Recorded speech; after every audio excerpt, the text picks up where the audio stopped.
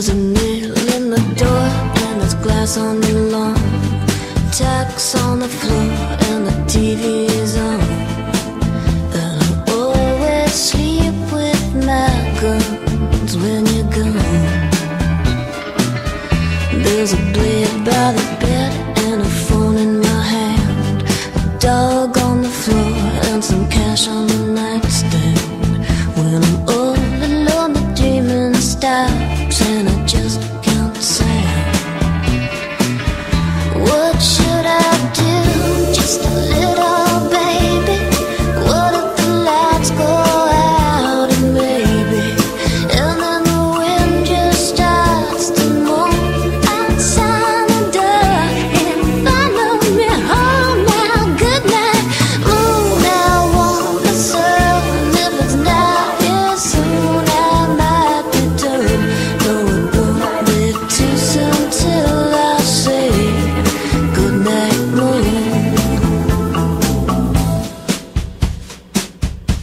A in the pool and tree. Crazy old neighbor me has been watching me.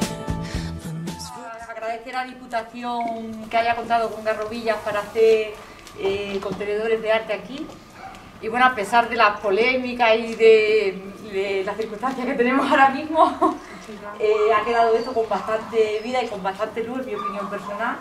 Y bueno, eh, contenedores de arte, como eh, puede explicar Marta, pues solamente para darle uso a espacios que están en desuso o en abandono, que esto pues cumplía mm, el requisito ese.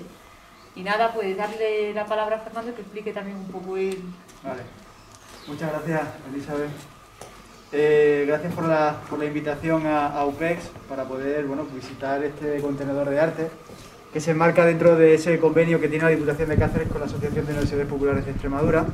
Una actuación de contenedores de arte que lo que busca es poner en valor un espacio abandonado dentro de una localidad y que se consigue acogiendo eh, pues manifestaciones artísticas eh, de artistas que se pretende que sean siempre artistas locales. Y en este caso, pues dos artistas locales, Conchita Luceño y Niña Pájaro, han sido quienes nos han elaborado eh, estas intervenciones en este espacio. ¿no?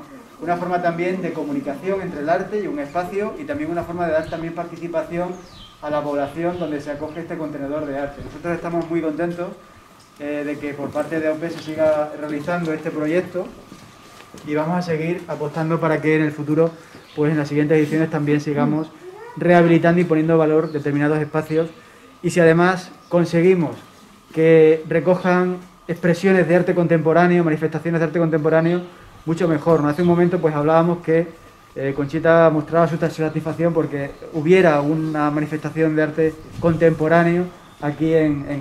¿no? Bueno, pues objetivo doblemente conseguido, Elizabeth.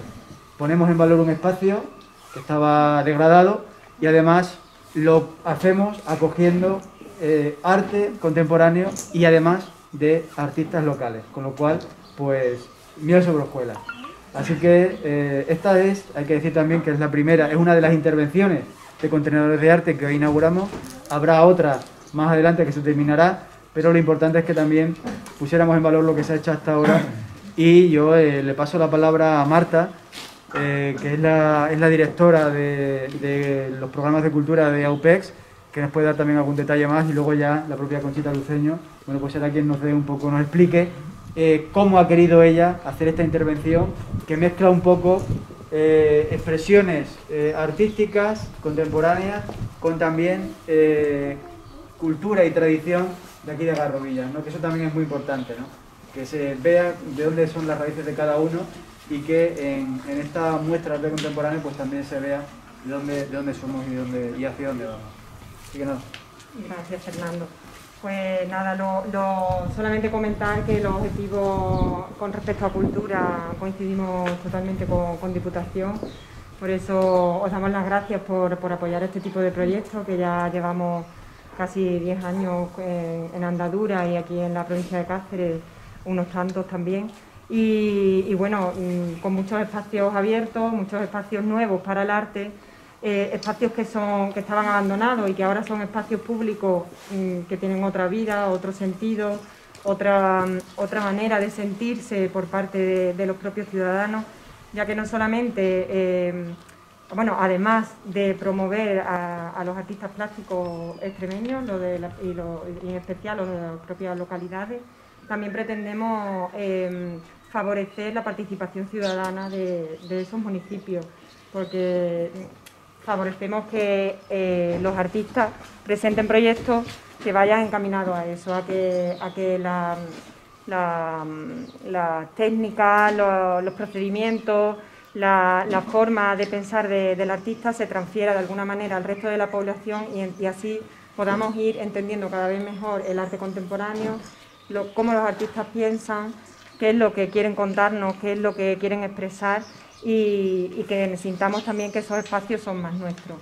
Entonces yo creo que aquí con Conchita lo tenemos conseguido porque ha involucrado a su familia de parte de la población, con Niña Pájaro también porque conecta muy bien con, el sentir de, Extremadura, de los extremeños, a través de los símbolos que, nos representa en, en su, en su mural y espero que, mm, vamos, espero no, eh, lo sé, eh, la obra que, que después, más adelante, se pueda inaugurar dentro, se pueda visitar de, de Lucas Marcos, también lo haga. Entonces, eh, nada más que daros la enhorabuena a vosotros, porque ahora tenéis un espacio que disfrutar y al que podéis seguir dándole más vida. Yo, por mi parte, nada más, gracias al ayuntamiento. Bueno, yo primero quiero agradecer al Ayuntamiento la- las facilidades que nos ha dado, le hemos dado un poco de lata. Este, este trabajo, este, este proyecto lleva lata a los ayuntamientos, pero la verdad es que hemos tenido una accesibilidad total a Elizabeth, a- al equipo, a, a todo el Ayuntamiento. Y, y luego quería decir algo que es muy curioso que se ha producido este año, ha sido muy duro todo, lo importante es que se haga. Sabéis que la cultura es un sector muy perjudicado, se han anulado muchas cosas, pero estamos empeñados en que se sigan haciendo pequeñas cosas para mantener precisamente esa normalidad que ya no existe. Y celebrarlo es un, es un éxito ya, haberlo conseguido hacer. Luego la obra. Se dan dos circunstancias muy curiosas en este proyecto. Cuando yo hablé con Conchita, cuando presentamos los proyectos Conchita y María, me dijeron que las dos, sin conocerse, habían pasado este verano por aquí y habían dicho, voy a interpretarlo. ¿Cómo me gustaría hacer una intervención aquí? Las dos, por su cuenta, se enteraron del proyecto y presentaron, con lo cual tiene mucha razón de ser. Este año, por debido al COVID, en el caso de Conchita, que lo ha sufrido con la familia, eh, todos los proyectos que nos han presentado, tanto aquí como el otro contenedor que tenemos en Logrosán, que inauguramos el día 14, tiene un contenido sentimental como nunca. Supongo que eso lo, lo ha conseguido el COVID. Y en este caso, además, el pueblo está presente en todas las obras. Está presente sobre todo en la obra de Conchita, en la de María, que ha sido el texto que me ha mandado, y en la obra que veremos el día 22 dentro. Eh, Lucas es un artista de Villanueva de la Vera, se ha reunido con 10 mujeres de la Asociación de Amas de Casa que también han colaborado con nosotros en todo lo que hemos pedido, las macetas, todo. Y él ha pedido un detalle, un recuerdo, una frase a cada una de esas 10 mujeres y lo vais a ver reflejado en, en el interior, cuando se inaugure el día 22. Agradezco al padre de Conchita, Vicente, No, yo soy el padre de María, no, sí que Perdón. el padre de María, que haya venido porque, bueno, María no ha podido venir, está en Madrid, confinada, pero se ha, ma- ha mandado unas, unas, unas líneas que me ha dicho que las lea, por favor, para que entendáis muy, muy bien lo- la obra suya.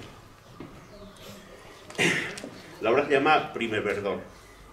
Esta propuesta es una intervención de arte urbano mediante la técnica del collage.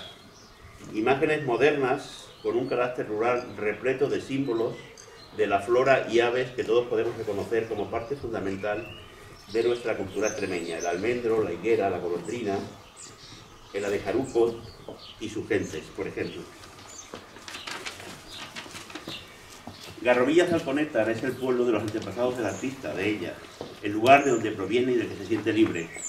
Es, su pueblo que siempre le inspira y que más de una vez ha, integrado en su obra. Y ahora me entrecomilla la frase que voy a leer. Este verano, paseando por el pueblo, me fijé en este espacio y pensé, qué guay que pudiera intervenir en una de estas paredes. Y añ- añade, puede que un pájaro se lo chivara a alguien, quizás. Salió vuestra convocatoria de contenedor de arte en este espacio.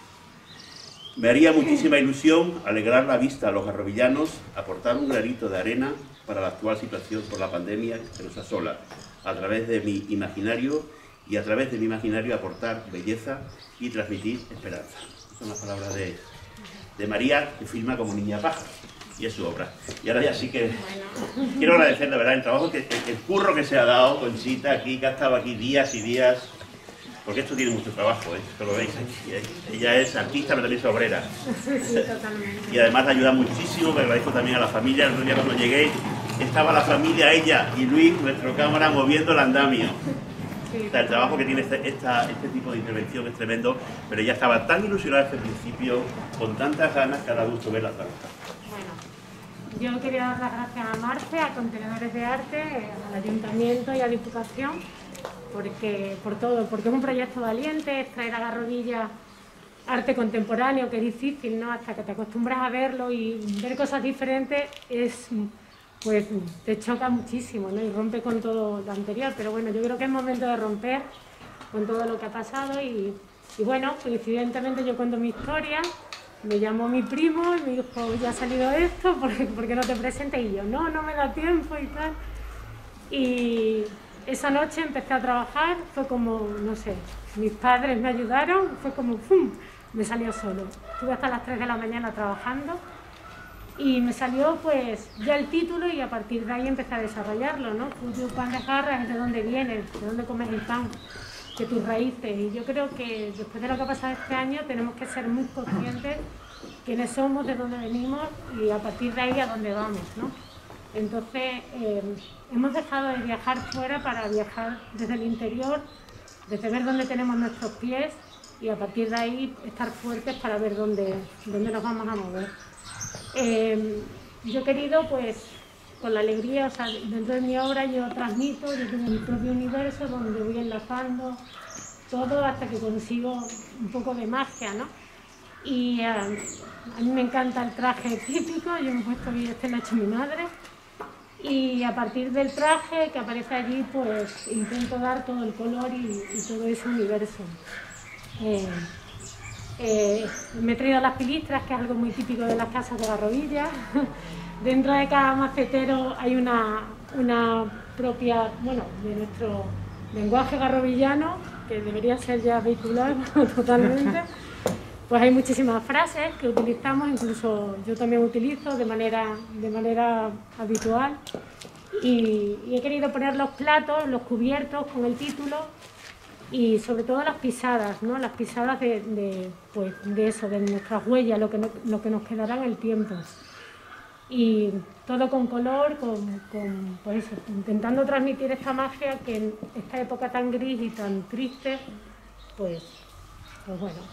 Mi madre nació en esta calle, o sea que si me viese ahora, pues sería, bueno, Pasaba por aquí al huerto de mi abuela con mi tía ellas me han ayudado en todo, mi familia, o sea, muchísima gente del pueblo y, estoy súper contenta porque lo he hecho con muchísimo amor.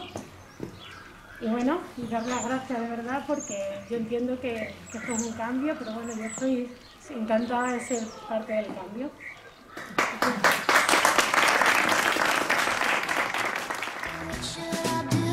just